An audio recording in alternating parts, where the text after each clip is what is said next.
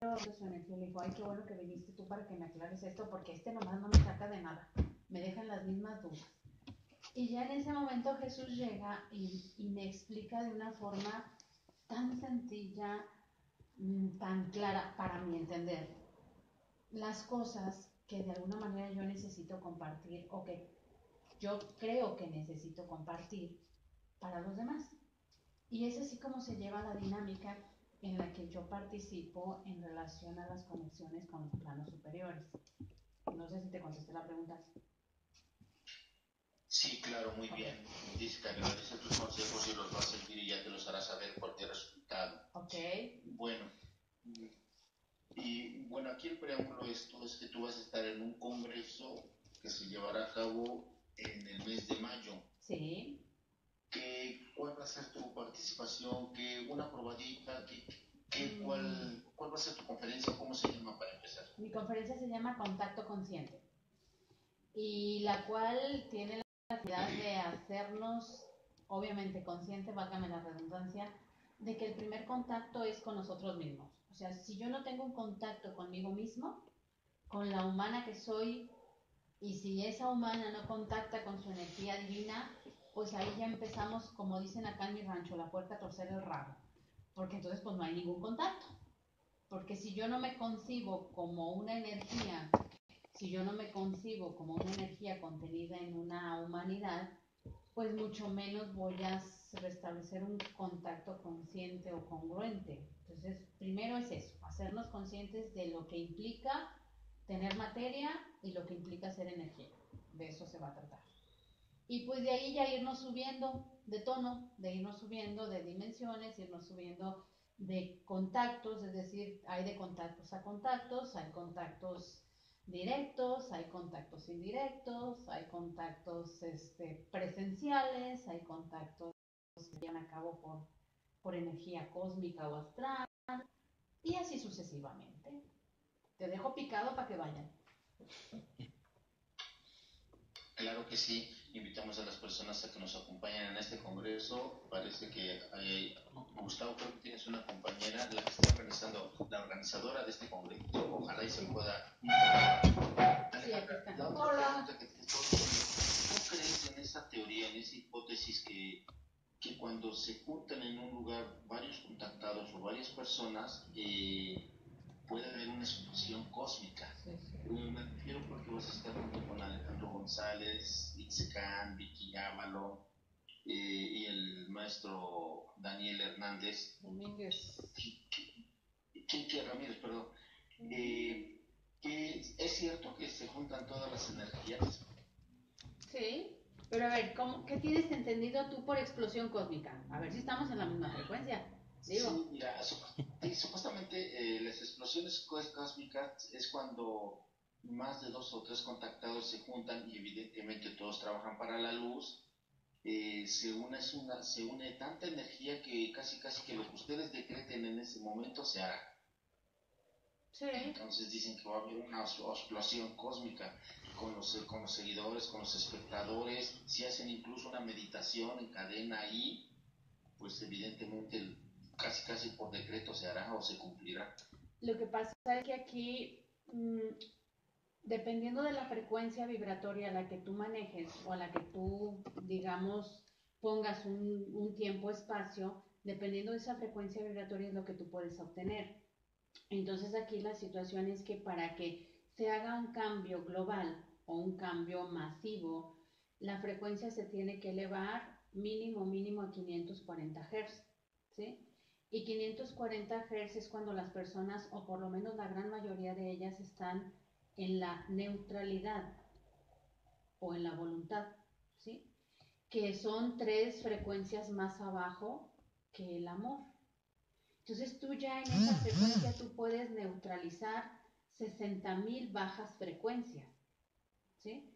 Entonces imagínate si logramos que 400 personas, porque decreto que sean 400 personas las que coincidamos ese día, y de esas 400 personas llegamos a vibrar mínimo en 420 Hz, te queda claro que no solo será una explosión cósmica, sino esperemos que sea algo más.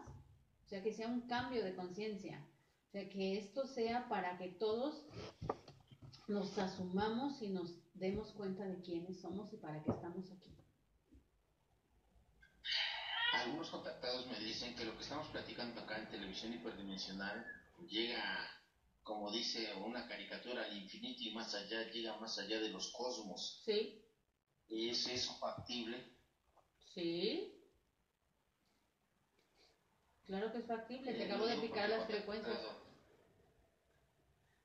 Lo digo porque este, para empezar, el nombre de televisión hiperdimensional o fraternidad cósmica hiperdimensional fue un nombre canalizado con el contactado John Jiménez Franco. ok. Él y junto con otros contactados me dicen que lo que se está haciendo acá en este canal, pues llega al cosmos por frecuencias, por repetidoras. Entonces, no sé en qué tiempo, pero incluso gente de las Pleiades, de Sirio, de Arturus, de todas las razas, de todas las razas, incluso sepan lo que estamos haciendo acá. Claro, esa es la finalidad. No hay secretos. Eso es lo bueno de esto. Claro. po- Por eso aquí los invitamos, aquí caben todos, aquí tenemos la idea de que al final del camino todos somos uno, todos somos hermanos, y es así como se hace la gran fraternidad cósmica hiperdimensional. Ah, creo que sí va a integrar este, la organizadora del evento, ojalá que nos acompañe, que no se vaya, que nos acompañe. Hola, buenos, A ver si se puede acercar. Buenos días. ¿Cuál es el concepto, cuál es la finalidad de este, de este congreso? ¿Qué tal, güey? Bienvenida a Televisión Hiperdimensional. Ay, gracias, muchas A gracias. ver si ¿eh? pueden abrir un poquito la cámara para que se escuche, para que se vean las dos. Y explícanos cuál es la finalidad o de dónde salió esta idea de hacer este congreso. Bueno, este, para empezar aquí en Guadalajara, yo soy la que empecé a hacer congresos con Alejandro González. Y, y bueno, este, pensé, en- no pensé, estaba yo muy tranquila y Gustavo fue el que me invitó. ¿Sí me escucha? Me invitó a hacer este, este congreso. Entonces, este, pues ni lo pensé, le dije, sí, adelante, te ayudo, nos ayudamos entre los dos y lo hacemos. Entonces eso fue lo que pasó. Este, pero lo que estabas diciendo de la explosión cósmica, Perdón, algo pasó, estaba bien el audio, mm, este, algo pasó porque antes que la movieran, porque se estaba escuchando bien, medianamente bien, pero ahorita ya se escucha otra vez como al inicio. No sé si pueden limpiar por ahí su micrófono, por favor. Les ofrecemos una disculpa a todas las personas que nos están viendo, pero a veces la tecnología no nos juega un, un mal, ¿no?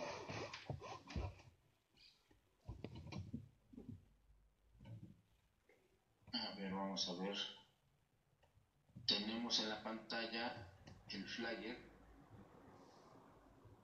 de este congreso. Vamos a leer en lo que se trata de arreglar. Se los voy a leer. Congreso Seres de Luz, conferencia con el tema contacto extraterrestre, el cual nos ayudará a comprender nuestro entorno y cómo abrir la conciencia. Alejandro González, un contactado del planeta Sirio, una investigadora internacional, Ana Luisa Cid, profesora Ana Luisa Cid, quien le agradezco que nos comparta los videos de Alex González que están aquí en Televisión Hiperdimensional. Alejandra Rivera, ella es nuestra invitada, vamos a tratar de ponerla más, más grande para que la reconozcan. A ella es Alejandra Rivera, él es Alejandro González, ella es la profesora Ana Luisa Cid, más abajo, aquí está también, le mandamos un saludo. Ayer tratamos de hacer un en vivo con ella, con Vicky Avalon. Él es el profesor Daniel Domínguez, también contactado.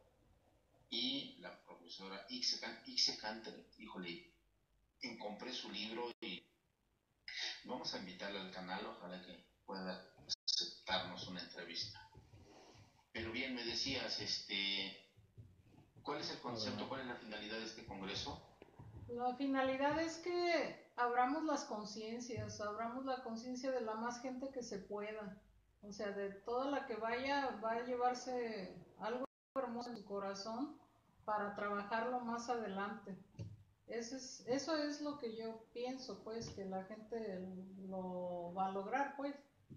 Este, y me decías de lo del explosión cósmica y la verdad, fíjate, este, simplemente con con Alejandro, este, cuando él da sus conferencias, bajan los hermanos mayores, ¿eh? se ve una luz inmensa. Ahora imagínate con todos los, los que, bueno, a los que los invitamos a la conferencia, va a ser fabuloso. ¿eh? Los invito a todos a que traten de estar ahí porque de veras que se van a llevar algo muy bonito y les va a ayudar mucho en su encontrarse a sí mismos y en, en su vida diaria incluso, porque empieza uno a conocer esto y, y cambia uno, va cambiando en su vida diaria. Eso, eso, eso sí me consta porque cabe hacer mención que he tenido la, la, la fortuna de hacer dos o tres congresos y sí efectivamente se ven naves, se ven entidades, se ven luces con muchos contactados. Incluso en la experiencia de Alejandra, con, en un congreso con el ingeniero José Luis Rueda también hubo presencia. Esto es global, aquí no somos competencia, no somos competencia de nada, nosotros respetamos y mandamos un saludo al ingeniero eh, José Luis Rueda y a su esposa Marta Briceño, también tiene, entrevistas con ellos, los invito a que entren a CIRCAR que busquen esas, esas entrevistas con Alejandra Rivera. Aquí somos plurales y eh, le digo, tenemos el concepto de que al final del camino todos somos uno y no somos competencia, simplemente este es un medio que tratamos de que sea diferente o enfocado de, de diferente forma. Pero aquí en Puebla nosotros tenemos nuestras experiencias cuando el año pasado hicimos el congreso en el Complejo Cultural Universitario y el congreso que se hizo en Cholula. Y sí, hay ciertas cosas. Luego me dicen, ya te va a aparecer una nave. Saqué mi teléfono y efectivamente había una nave afuera de donde estaba hecho, donde se estaba haciendo el congreso. Así es que amigos, los invitamos y ojalá, y eso quiere decir una pregunta, ¿usted es la que le ha organizado las conferencias a Alex González allí en Guadalajara? Así es, gracias a, pues a él que me dio la confianza, este, yo soy la que le ha organizado las conferencias aquí. Y, bueno, si te platicara todo lo que me pasó y lo que me ha pasado a raíz de todas esas conferencias que le organicé a él, es maravilloso. Es maravilloso. Entonces ahora en este congreso, no, pues tengo puros contactados de primera. Aunque sé que todos somos iguales, pero no, estos son de primera.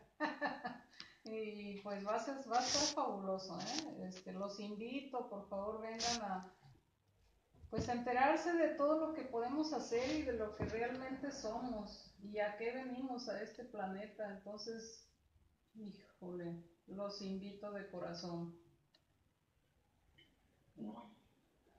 Una pregunta para Alejandra. Dicen que sí es malo invocar a los mantras y los mudras. Aquí todo depende de la intención y del propósito con el que tú hagas las cosas. Aquí muchas veces este, cualquier, cualquier, cualquier pensamiento y cualquier intención que salga de, de ti determina el efecto de lo que estás haciendo. ¿sí? Hay obviamente conjuros, hay mantras que están destinados y hechos con esa frecuencia, con esa vibración para obtener un resultado.